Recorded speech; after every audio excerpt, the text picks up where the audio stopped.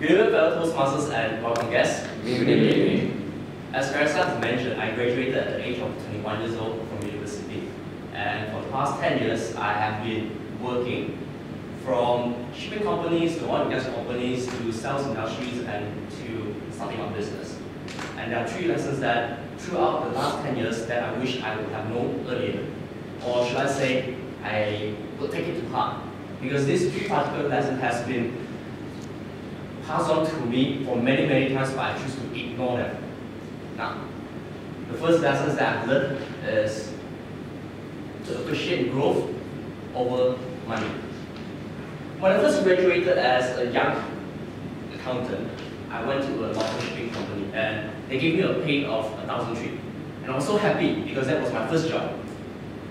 And over years of working, in fact not many years, just one year, there was no rise and I was getting frustrated because most of my fellow graduates have gotten higher salaries and they were enjoying life and I was telling myself and I was asking, when can I get a pay rise? An opportunity came. A new financial controller came and he asked, Allen, would you like to have an opportunity to learn and see how you turn over a company? Because at that particular time, the company was not doing well and they are looking for a financial controller that knows inside out to bring it back on track. So this was a great opportunity for me. But at the same time, without informing my company, I applied to an international oil and gas company. Now, they offer me double pay, and they offer me a lot of benefits. They offer me a lot of opportunities as well. And then I was sitting down. Which should I choose? Should I choose money or should I choose an opportunity for growth? And as most people would say, when you are young, go for experience, go for opportunity. They have told me many times, but I choose to ignore and I say, money means more to me at a particular point because I need to buy a new car and I need to go on a date. so I chose the later. Later do I find out that it's actually the same job, it's just that you are doing same you're facing same pool in a different toilet. Okay, that was that, that was that is how I would say that was how I would describe my job. They said the glass is always greener from the other side, but let me tell you, it's not true. It's not necessarily true. And I found that out. So if I would be able to go back and I would cherish one lesson, it would be do not sacrifice growth for the sake of money. So that's lesson, um, lesson number one. The second lesson that I've learned is that value yourself, value your time. I read this story about a child borrowing money from his father. The reasons being, he wanted to ask his father, how much do you earn in an hour? Because I would like to buy that one hour from you so that you can spend your time with me. After listening to that story, I started taking out a calculator, not like what Jason has, the PX, whatever, whatever calculator, but it's more a simple calculator and I do a simple calculation. How much is my money income? How many hours do I work a day? And the final figure, I was being paid $10 an hour. And I looked at myself, I was asking, so does it mean that if any point of the time in future, my wife or my child has an emergency, all they need to do is to pay $11 and I can tell my boss, I'm going to go attend to them. So from that moment onward, I knew that I need to value myself a little bit more. And I got this from a very close friend of mine. He introduced a business to me and he said, well, Allen, give a quote. And I told them, well, I would charge $40 an hour. And then I objected. And he said, you should charge more. I said, no, this is what I will charge. Then I came back with a second proposal and I charged $100 per hour. And he came back to me and said, no, I will not accept. I said, no, this is good for your company. You should charge, you should take it $100 per hour. Then he said, go higher than that. Lastly, I submitted a quotation, $400 per hour. And he said, good, I'll consider that.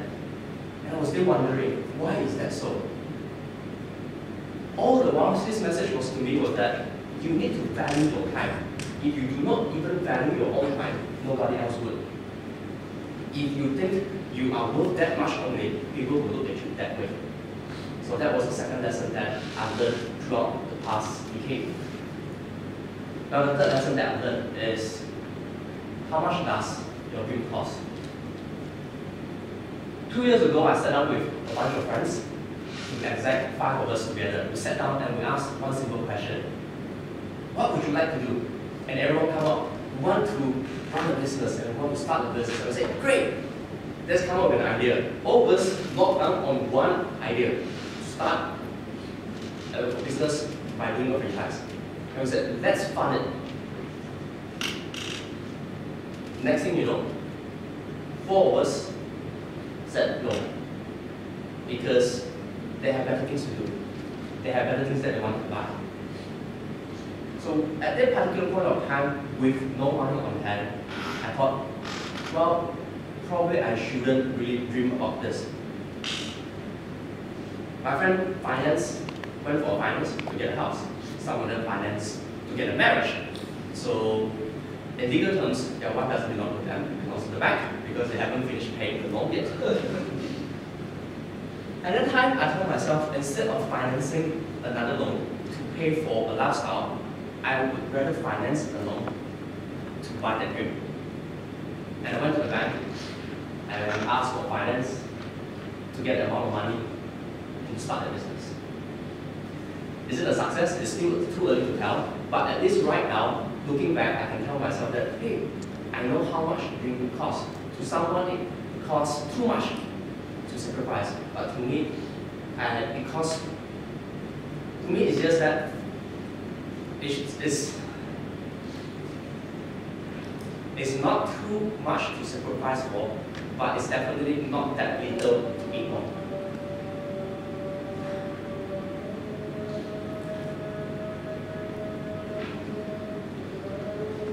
Okay, so that's the third lesson, to find out the cost of the dream. So to, sum up my speech, one of my inspirations once said this, is by Steve Jobs, said that life is about connecting dots. And the way you can connect dots is looking backwards and not looking forward. Throughout these 10 years, I wish I would have known this, but now at 30 years old, looking back, everything makes much more sense to me.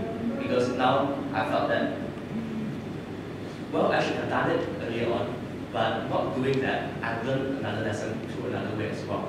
So not, there's nothing about, there's nothing that I would regret about. It's just that I would cherish what I've gone through a little bit. So with that, ladies and gentlemen, thank you very much for having of